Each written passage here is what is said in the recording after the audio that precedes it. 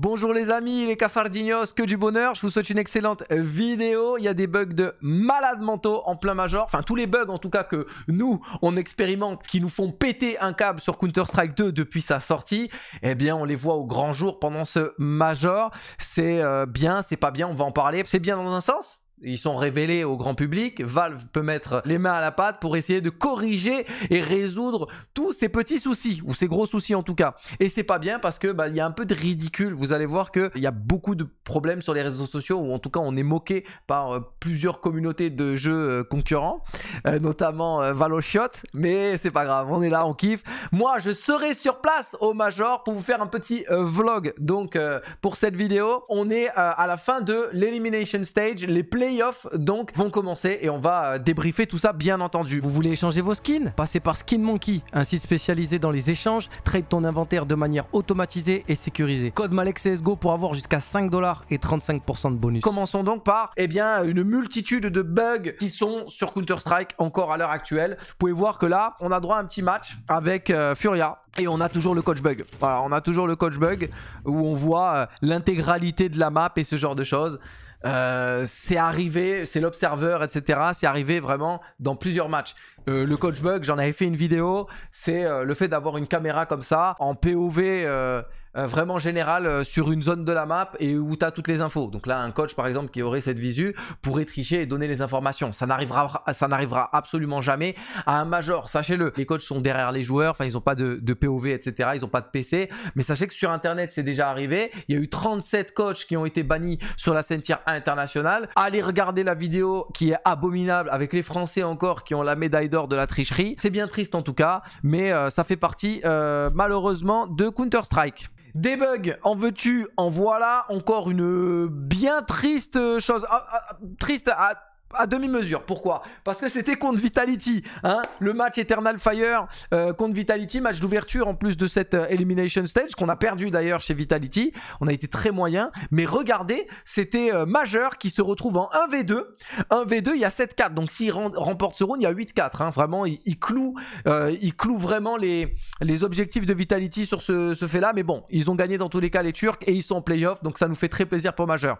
Et donc là, regardez, on a le tir d'Awap de Majeur qui fait une brochette et, en réalité qui ne, tire pas derrière, qui ne touche pas derrière. Voilà, ils sont totalement alignés. On voit bien le double shot sur la, POV. Voici la POV de, de, Majeur. Donc c'est clairement un double kill. Et malheureusement, malheureusement, le, le serveur n'a pris en compte qu'une seule balle et pas la deuxième derrière. Ce qui veut dire que il tue euh, Ziwu, mais il ne tue pas Mezi derrière. Donc il y a plein de bugs comme ça qui surgissent où des balles se perdent, ça ne touche pas et ça nous arrive aussi à nous. Hein. Des fois on est dessus, ça prend pas.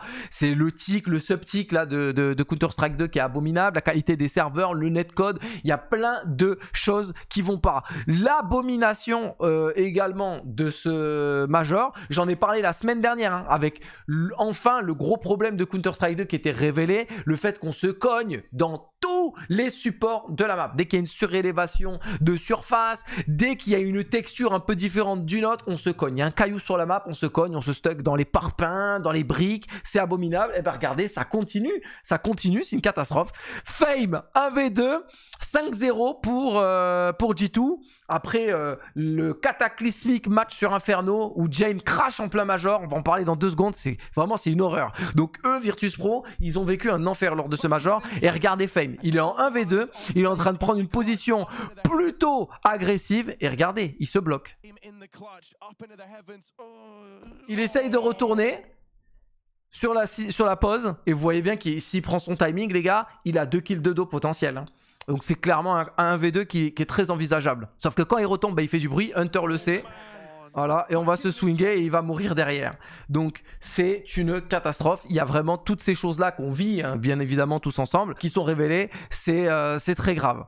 Pire que ça, pire que ça, parce que le Major là, euh, Virtus Pro, Là, on va en parler dans, dans une seconde. Avant ça, on va parler d'une excellente nouvelle et c'est en Asie. Au Major, il y a The Mongols qui a fait euh, des belles performances et donc qui va acquérir un slot supplémentaire pour le continent asiatique des futurs majors. Voilà, et c'est pareil pour le Brésil. C'est pareil pour le Brésil, étant donné qu'il y a beaucoup d'équipes brésiliennes qui se sont qualifiées à ce major et que The Mongols fait une belle épopée également. Ils ont gagné, c'est comme les indices FIFA. Si par exemple en Ligue des Champions, euh, il y avait euh, Paris Saint-Germain, euh, l'Olympique de Marseille, Lyon, etc., qui faisaient des grosses performances, qui allaient justement tout le temps en demi-finale, etc., la France n'aurait pas deux équipes qui iraient en Ligue des Champions, mais 3, 4, 5, comme c'est le cas en Angleterre, en Espagne aussi, qui ont beaucoup de, slots pour aller en, Ligue des champions. Ben là, c'est exactement le cas, donc c'est une excellente nouvelle pour la scène asiatique. Moi, en tout cas, ça me fait très plaisir, surtout que le prochain Major va se jouer à Shanghai en fin d'année 2024. Donc, ça va donner quand même un gros engouement, j'en suis persuadé. Qui m'a déplu euh, lors de ce major également. On a le premier ministre, enfin le ministre de la culture, pardon, du Danemark, d'accord Parce que ce sont les réceptionnistes un petit peu de ce major, ce sont les hôtes de ce major qui se déroulent donc à Copenhague au Danemark. Je vais vous traduire une interview euh, qu'il a donnée. Écoutez bien parce que ça concerne Counter-Strike. Je, déteste mélanger la politique et, CS, moi, mais bon, c'est la vie dans laquelle on a décidé de vivre aujourd'hui. Euh, la médiatisation, l'exposition au tribunal public, la moralité, ça me, ça me rend dingue. Écoutez bien ce qu'il dit, je cite, Tant que la Russie poursuit sa guerre illégale contre l'Ukraine, je ne pense pas que les athlètes russes devraient être autorisés à participer à des compétitions sportives internationales. Cela inclut bien sûr les sports électroniques. Voilà ce qu'il dit. Et donc il voulait bannir notamment euh, Virtus Pro, Team Spirit, euh, tous les joueurs russes, Cloud9, etc. Euh, qui participent donc à ce major. Je ne sais pas si vous êtes de cet avis ou pas. Moi, je dissocie totalement Counter-Strike euh, la compétition de la politique. Voilà, j'ai eu le même discours pour absolument toutes les situations, même quand il y a eu les bordels avec euh, Spinks et Vitality par exemple. Ça concerne tout le monde. Moi, ça, ça, me débecte. Il y a des joueurs, ça les touche pas entre guillemets. Ils ont rien à voir avec ça. Euh, il y en a beaucoup qui sont qui vivent à l'étranger maintenant, qui sont la nationalité. Ils n'ont pas demandé à vivre à tel endroit, à tel endroit. Les mecs, ils se barrent, ils jouent, ils s'occupent de Counter Strike 20 heures par jour. C'est, ils font pas de politique. Mais maintenant, s'il y a un joueur euh, ou n'importe quel individu qui aurait un comportement politisé, euh, qui serait proactif là-dedans, là pour le coup, il serait désormais condamnable selon moi. Mais pour le cas de Counter-Strike, c'est vraiment rarissime, voire quasiment jamais que ça arrive. Donc pour le coup, je ne préfère pas euh, m'en occuper. Parlons désormais du Legend Stage, de ce qui s'est passé pendant ce Major. Voici donc le récapitulatif de ce Legend Stage de l'Elimination Stage. Maintenant, ça s'appelle l'Elimination Stage. Moi, j'appelle ça le Legend Stage. Ça va mettre un peu de temps avant que j'appelle ça l'Elimination Stage. Donc, les équipes en 3-0 qui ont fait un score parfait sont Spirit et Mouse. Voilà, donc Spirit qui a vraiment euh, roulé un petit peu sur tout le monde. 13-7, 13-2 et un 2-1 contre Navi. Il remporte euh, des derbies russes en plus. Spirit commence à s'affirmer comme une grande équipe tier 1 et également contre, comme l'équipe numéro 1 en Russie. Et ça, c'est une première dans l'histoire de Counter-Strike parce que euh, on a toujours eu Navi en numéro 1 russe, ukrainien. Et là maintenant, ça, ça a été Cloud9 un petit peu le gros étendard russe. Et on a Spirit qui les bat, ils battent Navi derrière, donc c'est super parcours. Et il y a Moose également, même si Moose, il y a beaucoup de détracteurs qui vont euh, dire qu'ils ont joué des équipes faciles. Voilà, ils ont battu 13-11 Ecstatic, ils ont battu ensuite Eternal Fire 13-11 qui s'est qualifié en playoff, et ils ont battu 2 à 0 Complexity pour se qualifier en 3-0. Ah, ils ont un tirage plutôt euh, favorable, mais ça fait partie du jeu. Ils ont un bon seed et surtout, ils il, joue vraiment très très bien euh, euh, Mousse depuis euh, un paquet de temps maintenant, donc il faut quand même les saluer. Les équipes en 3-1 avec bien évidemment Vitality qui s'est qualifié dans la maladie, hein, dans la difficulté. On va en parler, ça fait très mal de voir un petit peu ça. Moi au moment où j'enregistre les gars, on n'a pas fait les playoffs, donc soyons factuels sur le présent. Euh, donc Eternal Fire, Cloud9, Vitality, les trois équipes euh, qui se qualifient donc en 3-1. Plutôt euh, surprenant de la part d'Eternal Fire de les voir surperformer comme ça, être ultra motivés, ultra confiants. Vraiment, ils ont arraché tout le monde. Ils ont une belle prestation justement face à Vitality en match d'ouverture. Ensuite, ils perdent contre Moose, mais c'était très serré, 13-11. derrière, ils arrivent à écraser, humilier, que dis-je, nos, nos favoris du tournoi avec Vitality, FaZe. Voilà, donc ils ont terrassé FaZe. Et euh, ils se défont également de Virtus Pro, qui est une top team. euh, donc vraiment un super parcours d'Eternal Fire, qui est parti mériter sa place en playoff. C'est historique, c'est la première fois qu'une équipe turque bah, performe de, cette qualité-là. On a également Xantares qui à son pic de forme euh, phénoménal et surtout majeur qu'on embrasse très très fort, qui est un leader in-game hors pair, qui vient rendre et redorer le blason de Counter-Strike 1.6. Ça a été un grand joueur d'1.6, un des meilleurs joueurs français d'1.6 pour les anciens. Voilà, donc euh, on est très fiers de voir Majeur, euh, qui est père de famille aujourd'hui, qui arrive à, combiner sa vie de papa plus la compétition, euh, leader in-game, plus de 30, je crois il a 33, 34 ans peut-être Majeur. C'est c'est que du respect. C'est que du respect pour lui, donc je valide à fond. Passons au parcours de Vitality avec une défaite dans un premier temps face à Eternal Fire. On est shaky, on est moyen. On gagne The Mongols 13-9. Match équilibré, match maîtrisé, mais un peu dans la douleur aussi. Impérial ensuite 13-9 encore une fois. Difficulté, voilà, toujours euh, shaky, shaky. Et surtout, on a les mots durs d'Apex après euh, une victoire. Écoutez bien ça, parce que euh, c'est mieux d'écouter le capitaine le dire lui-même parce qu'il est tout le temps plein de vérité. C'est quelqu'un qui a pas sa langue dans sa poche, mais surtout c'est quelqu'un qui est très objectif et très factuel. Donc écoutez ce que dit Apex après la victoire. Nice Thank you, baby Putain Je comme des putains de noobs et ils sont encore plus mauvais. Putain. Voilà, on joue comme des putains de noobs et eux, ils sont encore plus mauvais. Et oui, j'ai l'impression que c'est exactement ça le niveau de Vitality à l'heure actuelle. C'est qu'on a notre petite bonne étoile au-dessus de nous qui va nous permettre de battre nos adversaires, euh, surtout parce que en face, ça te choque. Ça, ça choque, ça a peur de Vita, on a toujours cette aura, euh, etc. Alors qu'il est très malade. On apprend que Ziwoo est très, très, très, très, très malade. Pendant cette phase d'Elimination Stage, il y a quand même quelques jours de repos entre l'Elimination Stage et les playoffs. Il y a 4 jours de repos pour Vitality parce qu'ils sont réussi à se qualifier en 3 victoires, une défaite. Donc ils ont euh, le samedi de repos, le dimanche, le lundi, le mardi, le mercredi. Donc ça leur fait quand même 4-5 jours de repos, practice, euh, retravailler un peu 2-3 trucs et surtout beaucoup de repos et de convalescence pour Ziwoo qui doit revenir très fort. Donc écoutez la suite. Sick, mate Nice Putain qu'on est mauvais. Fucking shit Voilà, putain qu'on est mauvais, c'est le seul qui, qui, qui libère cette frustration. On voit les autres qui sont, euh, comment dire, euh, soulagés, alors que Apex, il est tout de suite à chaud, direct dans, dans, dans l'avenir, tu vois. On voit le petit sourire avec Xtase dire, Ouais, frérot, là on joue très mal, hein. Alors, regardez ce visage là en mode ah ils se comprennent là ah putain frère on y est arrivé euh, on n'est pas passé à deux doigts de la catastrophe voilà et regardez ce qu'il va dire à Ziwoo derrière. Voilà, ça y est, on relâche la pression. On essaye de gagner sans Zivou, mais euh, ils, acceptent pas, enfin ils prennent pas la, le- leur chance. Voilà ce qu'il dit.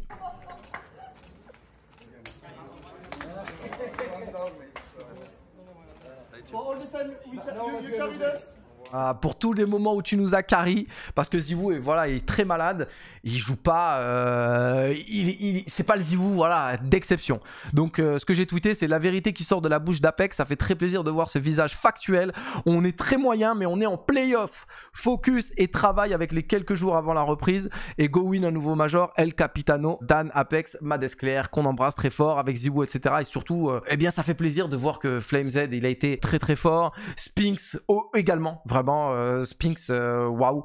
Pour ceux qui n'ont pas vu mon analyse sur Overpass de Vitality, il faut aller la regarder parce que je suis pas un détracteur de Spinks. Pour moi, Spinks est excellentissime, mais son rôle en terreau, vraiment, il bait beaucoup. Quand même hors de position souvent, il est euh, en dehors du jeu je trouve, il est vraiment à vos extrémités, vos extrémités, garde les flancs et j'aimerais qu'il apporte plus de firepower. Et notamment sur cette game, il a été exceptionnel et il m'a totalement fait fermer ma bouche. Donc il faut aller regarder ça. Équipe qualifiée en 3 victoires, 2 défaites avec un drama monumental, c'est G2, euh, FaZe et Navi. Donc euh, ce major déjà, il est exceptionnel. On peut on va voir les affiches de ces playoffs, mais avant ça, il faut vraiment regarder il faut vraiment regarder la catastrophada de ce qui s'est passé. Euh, je vais muter le son parce que vous allez vous faire péter les oreilles. Donc ça c'est euh, euh, le clip en question. Voilà, je vais le mettre au minimum. Oh, Il y a 11-11. On est en 4v4. La bombe va être amorcée. Regardez, Nexa à 0$, Uxi 0$, Monesi 600$, 750$ et 1500$. Ça veut dire qu'on est à poil chez G2. On est finito. Donc ils vont, ils vont vouloir save ce round. Ça a même été euh, confirmé, révélé, avoué de la part de G2 en interview. Monesi, juste après le match, qu'il l'explique, après leur victoire. Voilà, donc là, regardez James. Il rate un shot, mais il met une grosse pression. Il a déjà la ruine psychologiquement d'aller retake sur Inferno, un 4v4 bon planté avec un AWAP déjà positionné. Je vous le dis, c'est terrifiant. On le sait, on joue à CS, c'est quasiment impossible. Et un joueur aussi complet et aussi comment dire, pas greedy, très intelligent comme James, qui se montre jamais. Allez regarder, je vous en supplie, mon analyse de Virtus Pro face à G2. Vous allez prendre une claque de tactique. Vous allez prendre une leçon de Counter-Strike. Tout le monde déteste James. Tout le monde déteste Virtus Pro en France. Je pense qu'il n'y a que des incompétents qui ne connaissent rien à Counter-Strike qui s'expriment à leur sujet. Je vous en supplie, j'ai essayé de rétablir sur cette euh, analyse la vérité euh, qui doit mettre en avant Virtus Pro. Voilà, donc là on a du repositionnement. On voit que la Virtus Pro tout, de suite ils sont euh, repositionnés. On est en double C4, un C3, un banane. On est vu et là le PC a crash. Regardez le PC a crash. Là maintenant le PC crash. Ils veulent aller save. Là ils mettent une HE. Mais regardez, ils s'en vont. Là on voit Hunter, il met une HE pour mettre pression ils veulent s'en aller. Là, ils veulent s'en aller pour aller save à ce moment-là. Et ça a été révélé. Donc là, normalement, c'est 12-11 Virtus Pro. Et on va pas dire qu'ils gagnent, mais il y a quand même une map à 0, 12-11 derrière, pas d'argent. Euh, T'as quand même de fortes chances de gagner 13-11 et de, te qualifier en fait. Parce que ça, c'est le, match qualificatif pour les playoffs. Les deux équipes sont en deux victoires, de défaites. Et là, euh, voilà. Uxi le tue, et difficilement, hein, euh, voilà. Et euh, donc derrière, Uxi change de col et dit non, non, on la joue, on la joue, on la joue. Et euh, putain, Onepixel, je l'adore, mais là, il crie beaucoup trop. Et voilà, un low HP, un qui meurt, deux qui meurent, trois qui meurent, tout le monde s'effondre. 12-11. Derrière Virtus Pro, c'est eux qui ont pas d'argent. Et euh, c'est 13-11 pour G2. Et ensuite, on va sur une troisième carte à Lupis où les mecs sont éteints et euh, se font battre par euh, G2 qui revient très fort donc dans cette game. Et malheureusement, pas de rematch, pas de, de replay du round, etc. Normalement, il y avait l'ibot, on pouvait jouer, mais il y a des règles sur Counter-Strike. Moi, quand je jouais en tout cas, selon s'il y a déjà eu des kills dans le round, tu ne peux pas rematch le round. Selon combien de temps s'est déroulé dans le round, tu ne peux pas rematch le round, etc. Pour ceux qui ont déjà fait des LAN, etc. Si tu as un crash, euh, en gros, il y a 8-8, 9-9, 12-12. Si tu as un crash, tu reviens en fait au, round précédent et tu, et tu rejoues le round. Mais si tu es 5v5 et qu'il reste 30 secondes, euh, tu ne peux pas. Si tu es 4v4 qui a déjà eu des kills, tu ne peux pas. S'il y a déjà eu euh, en dessous de la minute et qu'il n'y a pas de kill, tu ne peux pas non plus. Donc il y a des règlements qui sont un peu obsolètes peut-être euh, à ce sujet-là. Enfin c'est une catastrophe. Honnêtement c'est vraiment une catastrophe. C'est une aberration. Je vous épargne les commentaires de tous les joueurs pros, de la communauté, etc. qui disent que c'est une honte d'avoir des crashs au championnat du monde de Counter-Strike, un tournoi de cette envergure avec une telle exposition. Maintenant, disons les termes, je pense qu'on a le plus grand tournoi de Counter-Strike euh, en termes sportifs, en termes d'affiches, en termes de niveau. C'est plus personne ne peut critiquer Counter-Strike, ou en tout cas ce major-là, c'est impossible de le critiquer. Regardez les playoffs, regardez-moi ces affiches. Quart de finale, Cloud9 Vitality, Spirit Phase, Spirit Phase, c'est la finale de Katowice, ça quand même. Hein. Eternal Fire, Navi, donc Eternal Fire, c'est quand même un peu la surprise. Navi qui est du très lourd, et Moose G2 de l'autre côté. C'est du très, très très très lourd. Alors Mousse G2, honnêtement, la forme dira que c'est euh, Mousse qui devrait passer. G2 reviennent de très loin. Ça paraît shaky, mais G2 y arrive euh, jusqu'au bout. On met une petite pièce quand même chez Mousse. J'aimerais bien qu'il fasse une grande épopée. Il manque un major à G2, mais j'aimerais bien quand même que euh, Mousse aille le plus loin possible parce que Shui est extraordinaire et que le management le, staff, la gestion un peu de cette équipe, il y a que des entre guillemets des inconnus et les mecs ils arrivent à rebondir tout le temps, c'est incroyable. Euh, de l'autre côté, on a un avis Eternal Fire. Alors, moi je vais vous le dire, hein, là j'ai le cœur, euh, j'ai le cœur plein de compassion et je suis totalement pour Eternal Fire. Voilà, moi je suis avec les Kardesh, euh, les frères turcs, Xantares, Woxic, Wikadia, Kalix et Majeur. Donc je suis pour Eternal Fire, même si je pense que Navi ça a l'air quand même plus solide. Honnêtement, il monte quand même un bon niveau de jeu. De l'autre côté, on a le derby, hein, voilà une petite rivalité FaZe contre Spirit. Euh, moi, j'aimerais bien que Spirit passe. Et vous savez l'amour que j'ai pour Carrigan. Vous savez que, euh, voilà, pour moi, c'est le GOAT.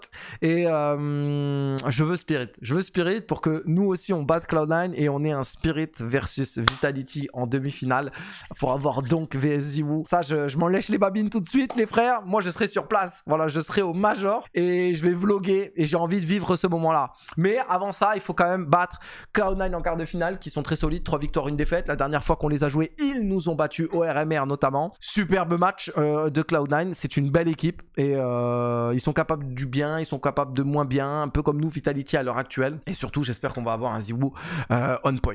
voilà, là-dessus. Pendant ce Major, pour ceux qui s'occupent de la tricherie et qui s'imaginaient qu'il n'y avait pas de contrôle, etc., je vais vous montrer qu'il y a quand même un peu des contrôles pendant ce Major. Et vous voyez que là, il y a un petit contrôle de la sécurité autour des joueurs. Il faut pas qu'ils aient de PC, de PC pardon, de téléphone sur eux. Il faut pas qu'ils aient de clé USB, euh, de voilà, de, de device avec euh, un Bluetooth ou quoi que ce soit pour pouvoir euh, prendre possession d'un radar ou, ou, ou, ce genre de choses. Bon, il y a des tests comme ça, détecteurs de métaux et tout. Le cheat n'existe absolument pas à ce niveau-là, sachez-le. C'est absolument impossible. Aujourd'hui, avec tous les tests qu'il y a, il y a même des tests antidopage aussi pour certaines substances, pas toutes. Donc je pense qu'il peut y avoir du dopage à l'heure actuelle.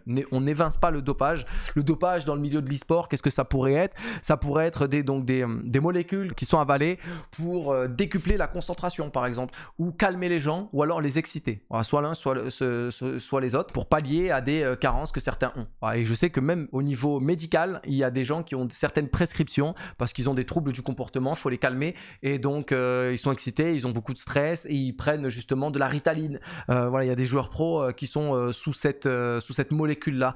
Il y a d'autres joueurs qui sont au contraire très calmes et qui prennent des super excitants, pupilles dilatées, concentrés, en mode bam, je te mets des headshots et ce genre de trucs. C'est déjà arrivé par le passé. Aujourd'hui, il y a des tests qui sont faits sur certaines molécules, mais pas d'autres. Et je pense qu'il n'y a pas tout qui est testé. Je sais qu'il y a également un joueur pro, même deux, que je connais, qui sont euh, pareil, qui ont des troubles euh, de comportement, etc., et qui sont euh, médicalement encadrés par le cannabis, la molécule sur le THC ou un truc comme ça, pour les calmer. Et donc, ils le prennent même en tournant. Ils sont à la retraite. Je ne vais pas mentionner les pseudos, mais ils sont à la retraite. Tous les stickers du Major ont été révélés très en retard, malheureusement. C'est une très mauvaise nouvelle selon moi parce que euh, ils sont sortis pour les, les, Stage et pas justement pour les, euh, les Challenger Stage, donc les premières phases euh, de ce Major-là. Ce qui fait qu'il y a beaucoup d'équipes qu'on a déjà oubliées et pas beaucoup de gens vont aller acheter leurs stickers. Ce qui fait que ça va être une, une source d'argent en moins pour ces équipes-là et c'est vraiment très dommage. Quels sont vos préférés? Je vais vous les montrer rapidement. Phase, donc on a un format paper, donc le classique. Ensuite, on a un glitter. Le glitter, c'est le scintillant. C'est avec un petit peu de paillettes brillantes. On a le holo et on a le gold. Et après, vous avez donc les 5 stickers signature et ils ont totalement détruit celle de Ziwu, hein, sachez-le. Là, on a le spirit avec euh, donc notamment qui vaut extrêmement cher. Donc attendez la fin du major, il va y avoir moins 75% sur les capsules de stickers. Ça va faire chuter le prix des stickers et là, vous pouvez faire le plein pour euh, dans quelques temps les revendre. Euh, voilà, ce n'est pas un conseil financier. Il faut, je sais qu'il faut dire ça là sur les vidéos, etc. pour des trucs légaux et tout. Mais sachez que depuis 2014, c'est comme ça. Toutes les fins de major, il y a une période où il y a moins 75% sur les capsules. Vous les achetez à ces montants-là. Dès qu'il n'y a plus le moins 75% sur les capsules, le prix réaugmente euh, logiquement. Et donc, euh, il y a un peu entre guillemets de plus-value à faire. Mais ce n'est pas un conseil financier, les gars. Donc, ne commencez pas à aller casser vos plans épargne pour faire ça. Vitality avec le Zivou. regardez. Regardez le Ziwu, c'est une catastrophe. Euh, ils n'ont pas pris son nouveau logo euh, depuis un ou deux majors déjà. Euh, Apex, il est vraiment sympa. Voilà, Apex, je le trouve plutôt cool, le nouveau. Flame Z, il est horriblissime. Je sais pas pourquoi il est, comme ça. On a du Moose, on a du Complexity, Virtus Pro, Navi, etc. Donc ça, c'est quand même les grosses têtes d'affiche. Euh, je pense que les équipes qui vont être un petit peu oubliées, c'est peut-être voilà les équipes comme So, euh, les équipes comme Ecstatic, les équipes comme euh, voilà l'Invision, Amcal. bon, Koi, il est très joli, donc je pense que le Koi, franchement, le Koi Holo, il est vraiment super. Le Legacy, etc. C'est compliqué parce qu'ils ne sont plus en compétition et donc forcément, les gens, ils vont pas forcément les acheter. Ils vont pas bénéficier de la hype du Major et d'être en compétition. Hein, même si c'était que trois jours de compétition pour eux, ça reste trois jours de vente et c'est beaucoup d'argent. Voilà, il faut pas oublier ça. La bonne nouvelle, euh, joueur d'Apex, leader in game, Stico, qui euh, va reverser 20%. Il a fait une annonce, il va redistribuer 20% de ses revenus pour lutter contre euh, la dépression, lutter contre le suicide, voilà, le mal-être un peu qu'il qui y a dans, dans, notre milieu à nous, là, sur les réseaux sociaux. Il y a beaucoup de gens qui sont en burn-out, qu'on voit vraiment dans des états psychologiques vraiment de détresse. Et c'est notamment pour soutenir Twisten, paix à son âme, euh, joueur de Vitality, qui a mis fait un séjour il y a encore quelques temps à peine, très triste nouvelle, qui était euh, sur euh, Valorant et qui était un excellent joueur, un ancien joueur de CS qui est passé sur Valorant et qui était un excellent joueur, c'était un Finlandais. et également à une donc 10% pour lui, pour sa fondation et 10% pour une autre fondation pour lutter contre la, dépression, l'aide un petit peu aux victimes de, de, ce genre de choses, parce qu'il y a Cynic, c'est un joueur américain qui est décédé il y a quelques temps à peine. Euh, donc euh, c'est pour leur revenir en aide. C'est une superbe initiative. J'ai trouvé qu'il y avait des trucs un peu dégueulasses à ce sujet-là, euh, que des gens disaient, voilà, ils profitaient un petit peu de, ce bon buzz pour, pour booster les ventes de stickers et il reversera 20%.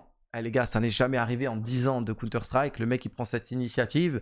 je pense pas qu'il y ait de euh, de mauvaises intentions derrière. Je trouve que c'est dégueulasse de systématiquement euh, euh, moraliser les gens, leur, inculper des, intentions qu'ils n'ont pas forcément. C'est horriblissime. Alors, je pense qu'avec cette annonce, oui, il va y avoir un effet de les gens voudront acheter le sticker de, de Stico pour justement qu'il gagne plus d'argent parce qu'il va en reverser mais euh, c'est une pierre de coups. Il va gagner plus d'argent, il gagne en popularité avec, avec son cœur. Je pense qu'il a fait avec sincérité et on voit que le mec a bon cœur et, et sa générosité, eh ben, les gens voudront la partager et donc c'est totalement normal. Donc je trouve que c'était dégueulasse le, fait de manipuler cette information et, euh, et euh, donc je voulais m'exprimer euh, sur ce sujet-là. Chez Falcon, il y a des discussions pour le recrutement de Dupré, euh, les amis, qui devrait donc retrouver son leader in-game all-time, Zonic et son coéquipier qu'il adore, Magisk, voilà, qui est un joueur qui je pense en a encore sous le coude et qui peut largement évoluer encore au, au sein de Falcon, chez qui ça va pas très bien. Ils ont sorti un vlog où ils ont allumé Boros tous les gens ont dit waouh quelle horreur etc euh, donc j'ai un double discours là-dessus. J'ai un double discours là-dessus parce que bah vous avez vu hein, la semaine dernière avec les, vidéos sur euh, Agi sur 3D Max je me suis exprimé là-dessus en totale sincérité et je vous avais expliqué que j'avais plusieurs casquettes. C'est pour ça que je vous dis que là j'ai un double discours parce que j'ai le discours de Malek euh, comme vous monsieur Malek monsieur tout le monde spectateur et j'ai aussi le discours de Malek voilà directeur de 3D Max. Et donc il faut avoir une image un peu professionnelle et pas forcément laisser leak ce genre d'informations. Donc regardez. No, I don't want to have any fucking regrets when I'm done here. If I'm not qualifying to the major, it's not because we're changing a fucking mouse. I swear to God. It's not because we're changing settings or we are forgetting our fuck. Allez, maintenant je vais vous donner du contexte euh, parce qu'ils vont tous s'y mettre euh, tour à tour euh, et allumer Boros. Euh, Zonic, euh, ensuite c'est Madden, tous ses coéquipiers, Son Payus, etc. Ils disent tous que Boros a fait n'importe quoi parce qu'il a changé de souris, euh, il a changé de settings, il change de résolution, de, de sensi, etc. parce qu'il se sent pas à l'aise, il est pas, voilà, bon, peu importe, et que le mec a fait des dingueries. voilà, Katowice, il a été excellentissime, et juste après, bah, il commence à changer de souris et tout, et donc il commence à tirer, il rate des sprays, ce genre de trucs. On a tous changé de souris, on a tous changé de tapis, on a tous changé une reste, tu te sens bien deux secondes, puis après hop, tu retrouves plus tes repères et t'es pas très bien. Et c'est ce qui s'est passé. Et donc la Zonic qui l'incendie, t'as tout le monde qui l'incendie, sauf que ça a été filmé, ça a été publié sur les réseaux sociaux. Et maintenant ça a été supprimé d'ailleurs de la séquence, donc vous pouvez plus la retrouver à part sur Twitter. Et donc les gens disent quelle honte euh, d'allumer euh, un joueur, etc., etc., etc., etc. Ou alors il y a l'effet inverse de dire quelle honte, brosse, il est pas professionnel et ce genre de truc. Il y, a, un double discours. Et sur, sur ça, en fait, je vous explique. Ça, c'est des discussions que toutes les équipes ont en fait. Le fait de dire, hey, toi, tu fais n'importe quoi, tu te couches trop tard, arrête de jouer à League of Legends le soir, arrête de jouer à d'autres jeux le soir, joue à CS, donne-toi à fond, tu rates, tu changes de settings, machin, tu nous fais chier. Ça, c'est des comportements toxiques parce qu'être toxique, déjà, c'est avoir un mauvais impact sur ton environnement. Être toxique, c'est pas forcément être un rageux, d'accord? Il y a des mecs qui boudent, il y a des mecs qui d'un coup vont se muter, vont plus parler. Ça, c'est autant toxique parce que ça fout une ambiance de mort. Et les gens qui vont changer de setting, changer de souris, qui vont pas être à l'aise, qui chouinent tout le temps ouais les gars, putain, euh, ouais, euh, là je change de res et tout. Je parle vraiment en équipe professionnelle quand on est comme ça, je l'ai vécu et c'était relou de ouf et ça faisait chier tout le monde. Sauf que c'est des discussions que tu as en interne. Le truc, c'est qu'on veut tout, tout, tout le temps. ah, On a de la curiosité mal placée aujourd'hui. Et on veut tout le temps se mêler des backstage et de ce qui se passe dans la vie privée ou dans la vie intime, euh, dans la vie professionnelle, dans un, dans un carré un peu. euh, euh, voilà, qui doit être gardé secret au sein d'une entreprise ou au sein justement d'une équipe, d'un collectif et ce genre de choses. Et on va tout, tout de suite dire Oh non, vous n'êtes pas des bons coéquipiers. Au lieu, de, au lieu de le booster, vous êtes en train de le descendre et ce genre de choses. Bah, c'est exactement ça. Là, ils lui disent la vérité. Donc c'est pour ça que je vous dis j'ai un double discours parce que moi, ça, je l'ai vécu toute ma vie. Et je suis totalement d'accord en fait de, de, de, l'allumer et de lui dire frérot tu fais n'importe quoi, tu tu, tu, tu, tu, chouines, tu whines, sauf que nous ça nous fait tilt et tout. Euh, c'est c'est trop difficile de vivre dans cette situation là. Et je suis aussi du côté de Falcon fait n'importe quoi à diffuser ces séquences-là parce que les gens vont mal le prendre parce qu'on est sur Internet. Voilà, il n'y a que des dégénérés, il n'y a que des gens toxiques, il n'y a que des gens qui, qui s'ennuient en fait sur Internet. C'est même pas que les gens sont toxiques, c'est les gens s'ennuient, ils veulent parler de la vie de tout le monde, ils veulent savoir ce qui se passe dans la vie de tout le monde. Et ça, c'est trop grave. Moi, par exemple, euh, je ramène pas tout à moi, mais je vous donne juste un petit exemple. Ma vie privée, personne ne la connaît. Je n'ai jamais montré ma famille, euh, j'ai caché toute ma vie que euh, j'étais père de famille et ce genre de trucs. C'est pas pour rien, c'est pour préserver tout ça. Parce qu'il m'est tellement arrivé du mal dans les réseaux sociaux, on m'a tellement fait du mal sur les réseaux sociaux que j'ai jamais eu envie de coûter, de faire, euh, de, de coûter ça à ma famille en fait.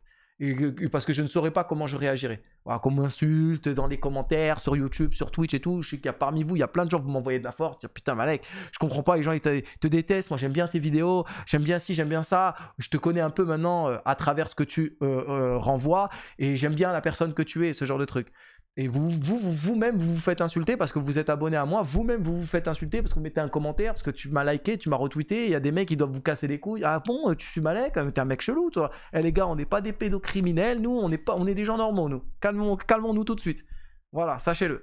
Euh, hein, continuez de suivre les gens bizarres de, YouTube. euh, on l'écrira dans un autre livre, celui-là. Bon, tout ça pour vous dire que j'ai ce double discours parce que euh, oui, je pense qu'il faut préserver son intimité et que là, malheureusement, on est dans l'intimité de Falcon et moi, j'adore voir ça parce que je me dis. Bah on est tous pareils et qu'il y a de la merde partout et c'est pas tout rose ailleurs. Voilà, l'herbe elle est pas plus verte ailleurs. Donc moi, moi je suis témoin de ça mais je le prends avec ma maturité. Donc moi je suis content d'avoir ce content là, mais d'un autre point de vue je me dis, eh voilà, hein, je regarde encore les réseaux sociaux, bah c'est une mauvaise idée de le mettre en avant. Ça veut dire que si moi je voulais mettre en avant du contenu de sincérité avec 3D Max, les, les gens ils le verraient comme ça en fait. Ils le diraient en mode Ah, mais vous êtes des ouf, vous êtes toxiques, mais comment vous gérez ci, comment vous gérez ça? Tu sais, tout le monde veut te donner des leçons, tout le monde veut t'apprendre à te gérer ton argent, à te gérer ci, à te gérer ça. Tout le monde ferait différemment, tout le monde ferait mieux, mais il y a personne qui y entreprend. Donc c'est très compliqué. C'est, c'est- je sais pas, c'est, c'est un sujet comme ça un peu libre. Je, je veux votre avis. Est-ce que j'ai raison, est-ce que j'ai tort? Euh, Je pense même pas avoir raison ou tort. Je pense avoir raison et un peu tort aussi, et que c'est des points de vue. Je pense que quand tu peux avoir des gens matures autour de toi, il n'y a pas de problème. Je pense que sur CS, on a une communauté quand même qui plus âgée que sur d'autres jeux, et j'arrive à avoir des débats, moi, euh, avec beaucoup de maturité. Sur mes, vidéos YouTube, j'ai problème dans les commentaires. Sur Twitch, pareil. Bon, il y a deux trois dégénérés de temps en temps. Je, pète mon crâne, je vous le cache pas. Mais en général, je passe des bons moments. Je lis vos commentaires, je réponds. Euh, voilà. Quand j'envoie sur TikTok, par exemple, c'est une catastrophe. Euh, TikTok, je ne le gère pas. Elle est supprimée de mon application de, de, téléphone. Et TikTok, c'est le monteur, il gère, il envoie des TikTok et il laisse les gens se battre dans les commentaires. TikTok, c'est une infamie. Je vous déconseille d'aller là-dessus. Par contre, sur Twitch, bah, je tape bien des barres avec les gens. Il y a beaucoup de gens que j'adore qui viennent tous les jours. Euh, voilà, qui sont boulangers, électriciens, euh, flics et tout. J'adore. Euh, sur YouTube, il y a pas mal de- d'entre vous, voilà, vous laissez des commentaires régulièrement. J'ai l'impression qu'on se connaît. J'ai- J'aime bien ces, ces échanges-là. Donc des fois, je fais je parle un peu de ma vie privée, ce genre de truc, parce qu'on aime bien extérioriser, on a un appui, on a un soutien. C'est une relation que j'aime bien, mais des fois je me dis, il faut revenir sur Terre. Là, pour moi, c'est un coup, euh, c'est un coup à me remettre les pieds sur Terre, en fait, de voir ça. Et euh, de me dire, ah non, non, pas trop loin, parce qu'on regarde encore les réseaux sociaux, il y a que des fous, en fait. Donc voilà, c'est dommage parce qu'on va, on va perdre cette spontanéité. Euh, les amis, c'est fini. Eh oui, parce que euh, on est au Major. Donc euh, bisous tout le monde. On espère que Vitality va faire quelque chose d'extraordinaire. Et le vlog, bah, je sais pas ce qui va se passer, mais j'irai à la rencontre, bien évidemment, de Vitality, de Major, du maximum de gens que, que je connais. Il y a FaZe, donc j'essaierai d'attraper le frérot Cargan parce que c'est quelqu'un que je connais depuis un paquet de temps maintenant. Bref, je vous garantis rien. Vous aurez une belle vidéo, j'en suis sûr. Et j'ai investi dans un stabilisateur à 400 euros. Donc j'espère que la vidéo va être incroyable. Ciao tout le monde.